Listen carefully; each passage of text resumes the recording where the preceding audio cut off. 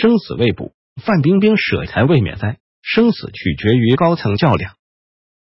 二零一八年六月，崔永元爆料演艺界阴阳合同，影艺圈乱象成为舆论焦点。影视大腕范冰冰失踪一段后，后花钱买平安，在侥幸近九亿巨额后重新面世。外界都以为范冰冰舍财免灾，已平安落地。其实，范冰冰仍被禁止出境。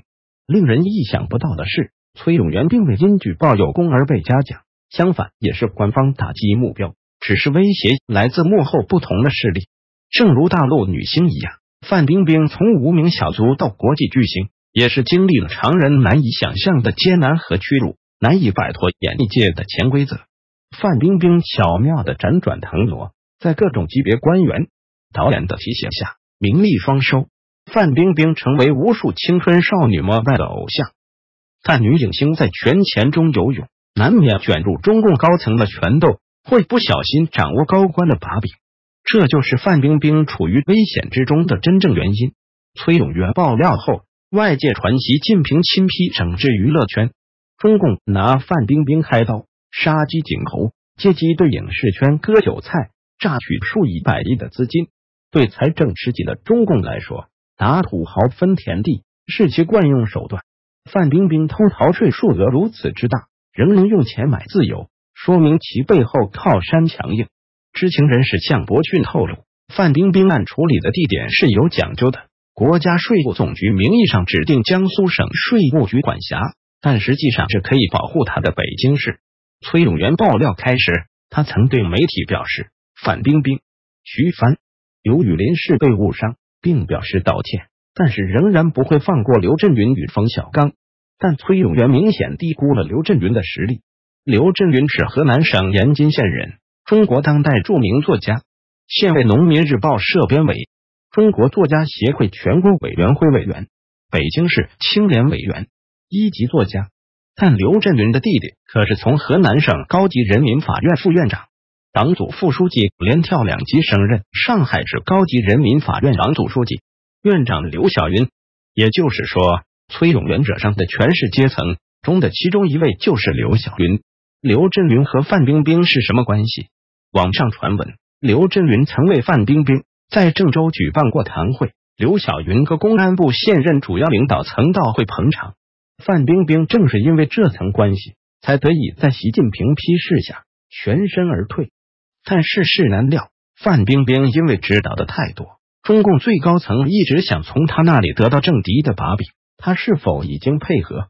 如果配合了，那些有把柄。在他手里的人会放过他吗？范冰冰玩得转演艺圈，但玩不转政治圈。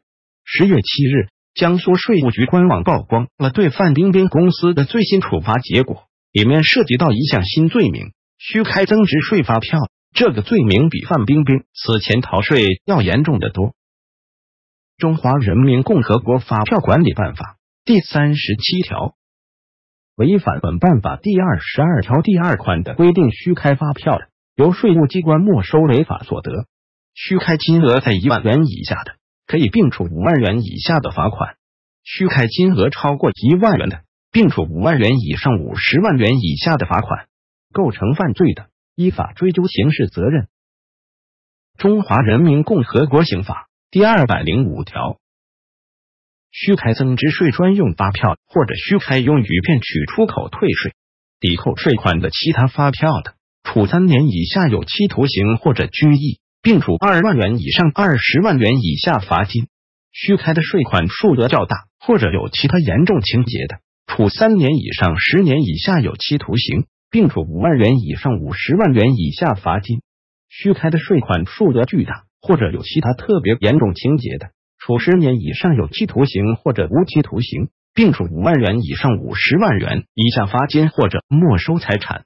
单位犯本条规定之罪的，对单位判处罚金，并对其直接负责的主管人员和其他直接责任人员处三年以下有期徒刑或者拘役。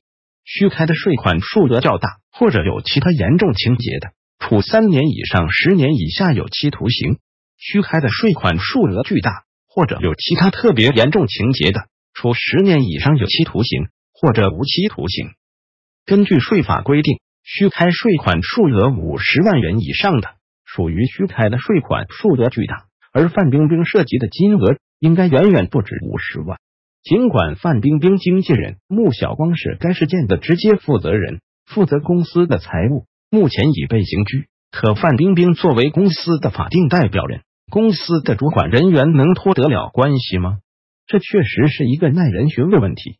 范冰冰偷逃税可以因首单免罚。但虚开专用发票罪却没有这方面的规定。这次范冰冰还能全身而退吗？估计很难。连台媒也报道称，目前还要进一步调查清楚。范冰冰现在还不算安全脱险。一旦范冰冰的无锡美涛嘉义影视文化工作室或其他投资或控股公司涉嫌虚开专用发票犯罪被查时，范冰冰将负刑事责任，甚至被判处最高刑无期徒刑。范冰冰还能再次成功脱逃吗？难说。在中国，法律只是个刀把子，杀瓜存留关键取决于法律背后掌握刀把子的人。中共高层男人的较量。